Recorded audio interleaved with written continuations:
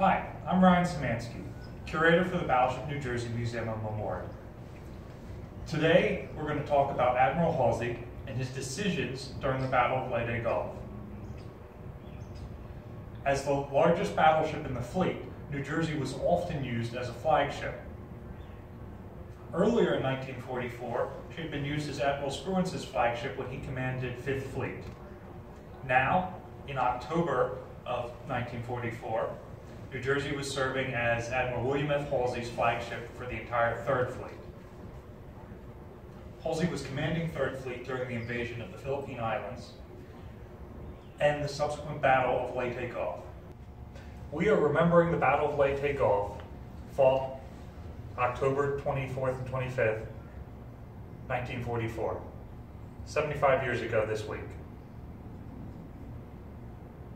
During the battle, Admiral Halsey commanded 3rd Fleet from this spot where I'm standing right here, on the O3 level of the battleship, the Admiral's Flag Bridge. This is where he made the decisions which resulted in several of the battles and the forces that were used in them. When we attacked the Japanese battleships in the Sibuyan Sea, Halsey was standing here while his carriers launched strikes, sinking the super battleship Musashi.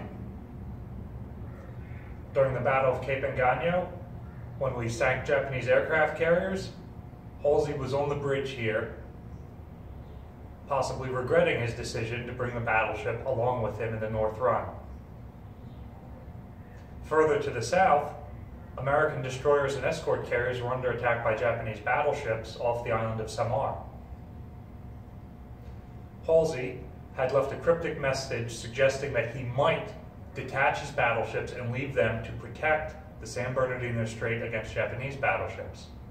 But in the end, decided not to divide his forces and take all of his ships north to attack the Japanese carriers. The age of the battleship was over, and aircraft carriers must be the predominant threat. In actuality, the Japanese carriers did not have enough aircraft to pose a threat to the American fleet, so they deployed their monstrous battleships to try and overwhelm the American defenders. Admiral Halsey was standing here when he received word from Admiral Chester Nimitz asking where the battleships were.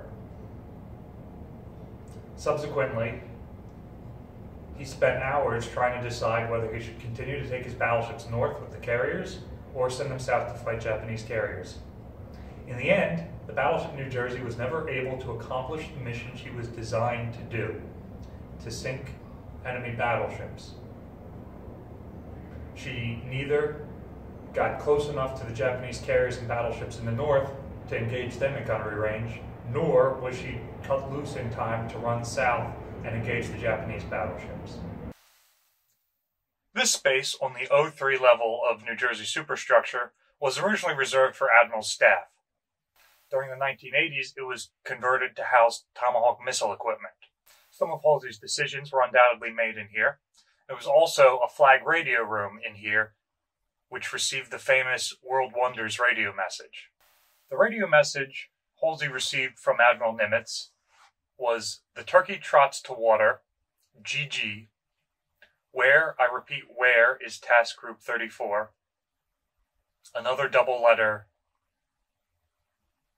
spacer, and then the world wonders.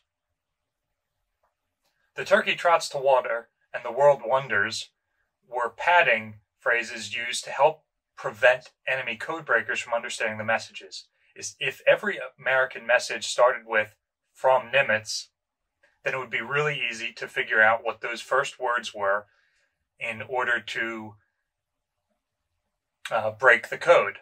So American code breakers always added random phrases. Usually the radio men up, made them up on them uh, on the spot. When Halsey's radio men decoded the message, they correctly realized that the turkey trots to water, which was before the double letters, signaling that it was just spacer, should be removed. They incorrectly left the world wonders, which fell after double letters and therefore should have been removed. Uh, they incorrectly left that on the message. So when Halsey read it, he read where, I repeat, where is Task Group 34, The World Wonders. Admiral Nimitz never reached out to his officers in the field and second guessed their commands. So this radio message seemed like a very striking rebuke to Halsey and his leadership that Nimitz had done this unprecedented thing and in such a bold manner. This is the Combat Engagement Center. As designed, this was part of the Admiral's suite.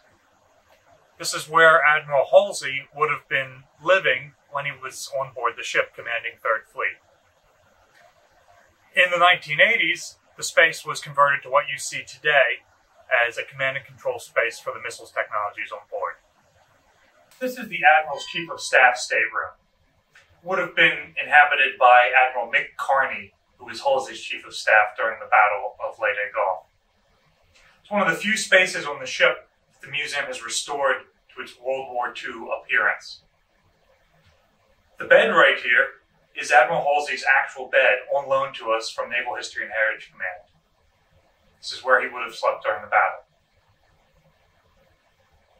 Thanks for tuning in with us this week as we remember the Battle of Leyte Gulf. Remember to tune in next week for more content. Like, share, and subscribe. And special thanks to George Leone for creating the content in this video.